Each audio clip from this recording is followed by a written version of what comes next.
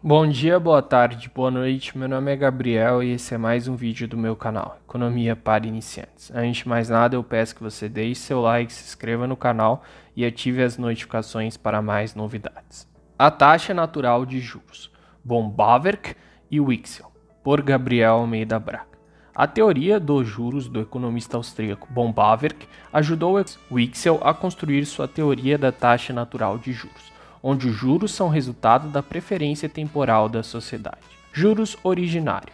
Bawerk introduziu o conceito de tempo na teoria do capital e explicou o juros originário em termos de preferência de tempo, como a consequência da valorização maior que o serviço de bens mais perto do presente tem em comparação com o mesmo serviço mais perto do futuro. Ou seja, valorizamos mais o consumo presente que o futuro. Então é necessário que se pague algo para que possamos abrir mão do nosso consumo no presente. No caso, esse abre aspas, preço, fecha aspas, é o que chamamos de juros.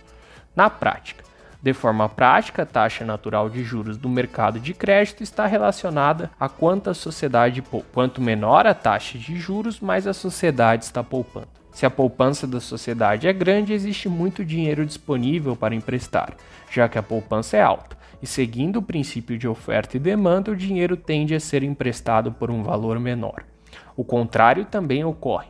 Quanto maior a taxa de juros, menos a sociedade está poupando. A taxa de juros é mais alta, pois existe menos dinheiro disponível para ser emprestado.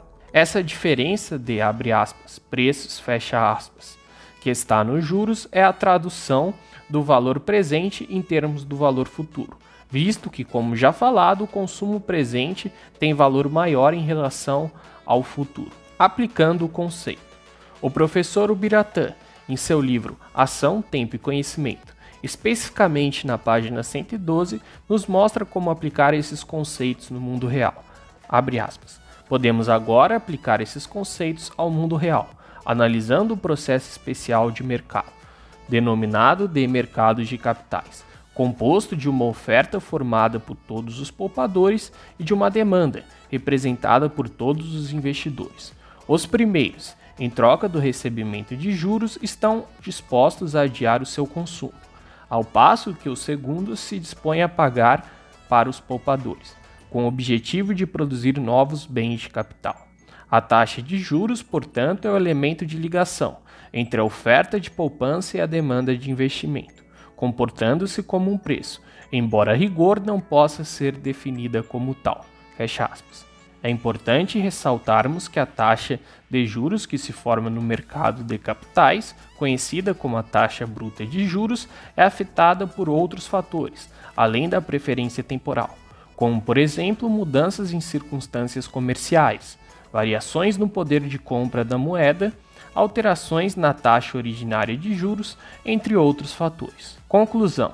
O professor Ubiratã, no livro já citado, conclui, aspas, portanto, a taxa bruta de juros tende a aumentar, quando, mantendo-se constantes as demais circunstâncias, a demanda de recursos para investir aumenta, e ou a oferta de fundos para emprestar diminui, e tende a baixar quando a demanda de investimentos diminui e ou a oferta de poupanças aumenta. Bom, esse foi o vídeo. O livro citado do professor Ubiratã estará na descrição do vídeo.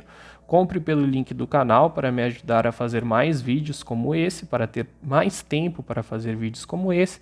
E é isso aí. Um forte abraço a todos e Deus abençoe a todos.